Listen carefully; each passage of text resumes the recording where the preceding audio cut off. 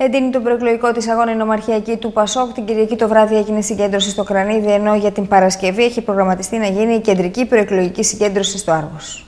Μπαίνουμε στην τελική ευθεία για τις εκλογές της 4ης Οκτωβρίου. Το Πασόκ, τα στελέχη τους σε όλη την χώρα εξακολουθούν να παρουσιάζουν στους πολίτες το σχέδιό μας για την έξοδο της χώρας από την κρίση. Δεν λέμε ότι στις 5 Οκτωβρίου τα πράγματα θα είναι εύκολα.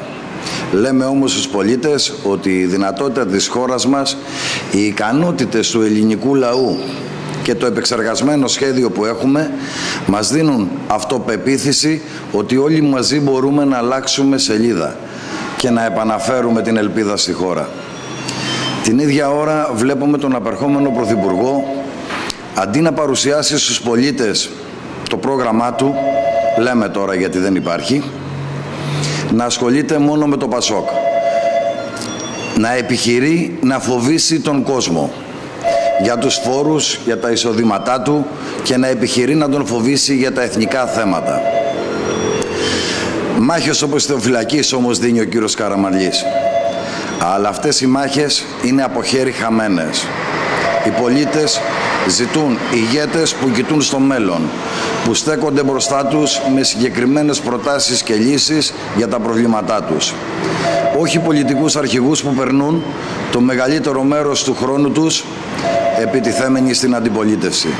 Χθες λοιπόν, στην κεντρική πλατεία του Κρανιδίου, οι πέντε υποψήφοι του Πασόκ, η Σοφία Ιγκιόλα, ο Γιάννης Ομανιάτης, ο Γιώργος ο Παραβάντης, ο Τάσος Θαλεσιώτης και ο Δημήτρης ο Σίδερης μίλησαν στους πολίτες Ερμιονίδας.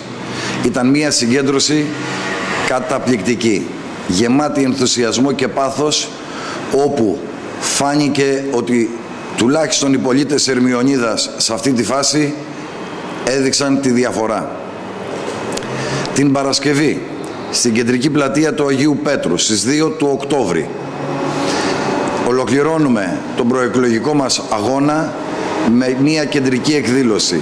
Ομιλήτριας στην εκδήλωση αυτή θα είναι η Ευρωβουλευτής Μαριλένα Κοπά.